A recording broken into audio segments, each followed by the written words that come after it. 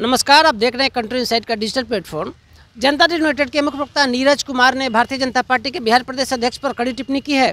देखिए इस वीडियो में नीरज क्या बोल रहे हैं सम्राट चौधरी से, और सम्राट चौधरी से बड़ा सवाल भी उन्होंने पूछ दिया है। सम्राट चौधरी जी, कैसा भद्दा मज़ाक कर रहे हैं आदरणीय प्रधानमंत्री जी से?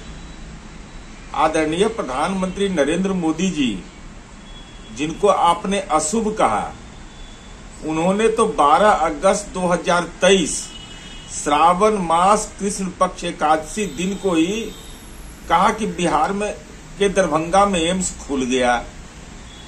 और आप बयान दे रहे हैं कि राज्य सरकार, आदरणीय प्रधानमंत्री जी से अनुरोध करे शिलान्यास की तिथि कौन सी होगी? कम से कम अपने दल के नेता के साथ ऐसा भद्दा मज़ाक नहीं करना चाहिए कि जिन्होंने एम्स खोल भी दिया, आप उनसे अब कह रहे हैं कि शिलान्यास करिए।